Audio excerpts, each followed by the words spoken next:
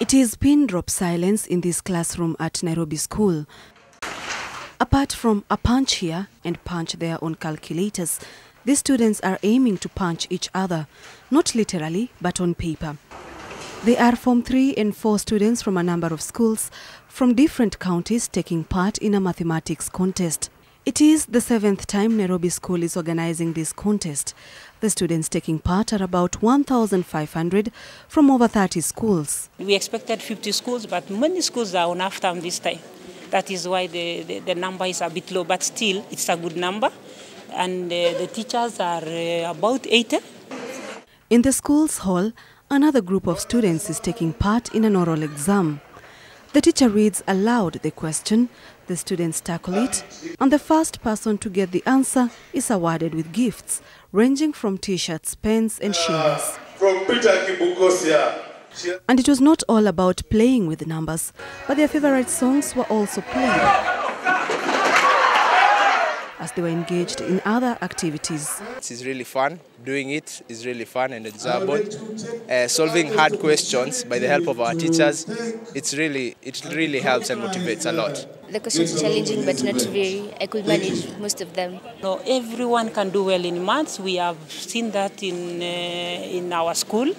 Even those people who you think they cannot do maths, as a maths teacher, I've seen it in the classroom level, they can do it.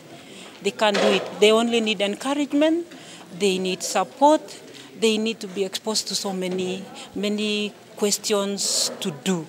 According to Education Cabinet Secretary Dr. Fred Matiang'i, the number of students pursuing STEM courses in our universities is low compared to the ones who are doing the arts.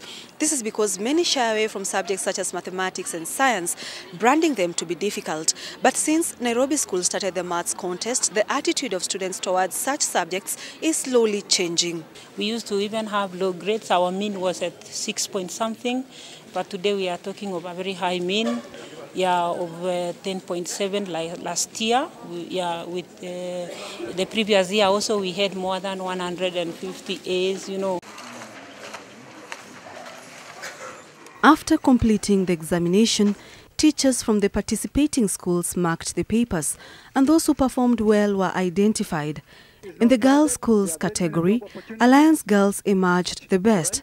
Mary Hill Girls came in second. In the third place was St. Francis Mangu. In the boys category, Murang'a High School was top.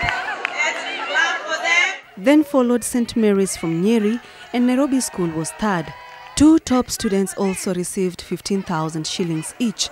It is events such as this that are used in motivating students to embrace mathematics and science. Sharon Barang'a, NTV.